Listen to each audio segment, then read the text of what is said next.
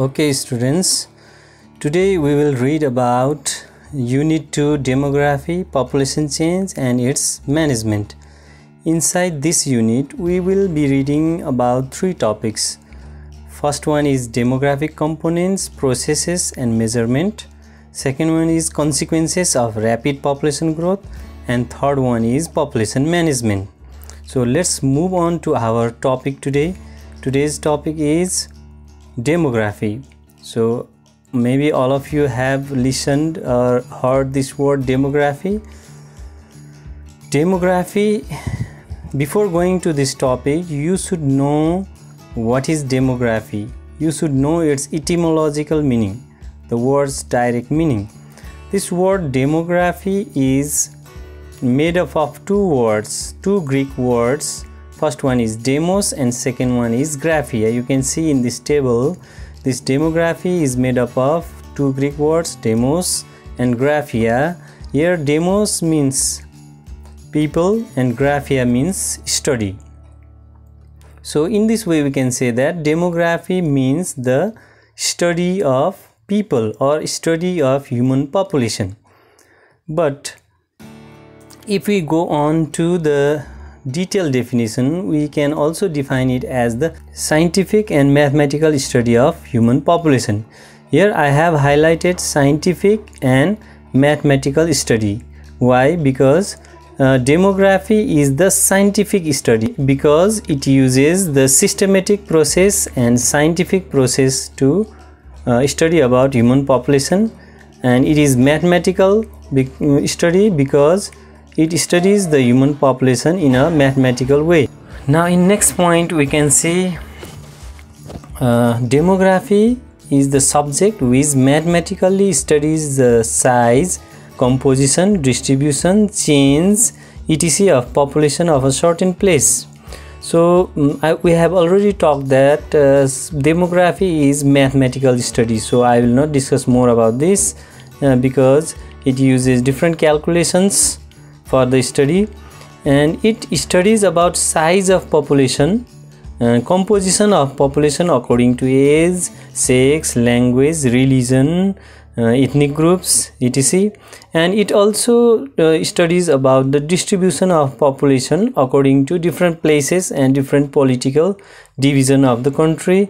It also talks about the uh, population change of a certain place and a certain time and it studies about birth, death and migration which are called the determining factors of population change. So population is a dynamic uh, thing which never remains constant which changes according to time, place and situation. So demography studies about birth, death and migration. And if we move on to a short history of demography, mm, we can see John Graunt as the father of demography. So john graunt is known as father of demography. And uh, who used the word demography for the first time? He is none other than Achille Guillard. So you can say Achille Guillard or Achille Guillard. This is the name of person so it may vary from person to person. So you can say Achille Guillard in 1855 so this question can be asked in a very short question one mark question. So you have to remember who is known as the father of demography.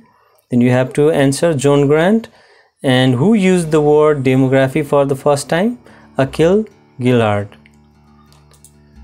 So i have uh, given this picture extracted this picture from the internet to make you easy to recognize the father of demography john graunt you can see the picture. John graunt he is british statistician and he is known as father of demography and his well-known book is natural and political observation made upon bills of mortality uh, and published in 1662 so please remember this. This this is john graunt father of demography. Now next photo is achille guillard who used the word demography for the first time you uh, know it. And his book is elements of human statistics. In this book he used the word demography for the first time. So in this way uh, we have finished the topic demography. So from this topic you can be asked to write the short notes uh, of demography short history of demography or you can uh, be asked to write the introduction of demography. So you have to write it very well and from here different short questions very short questions can be asked. For example what is the meaning of demos? What is the meaning of graphia? Define demography in short. And who is known as the father of demography? And who used the word demography for the first time? When these are the question possible questions which can be asked from this topic. For today we will do this much. We will meet i will meet you on next class. Thank you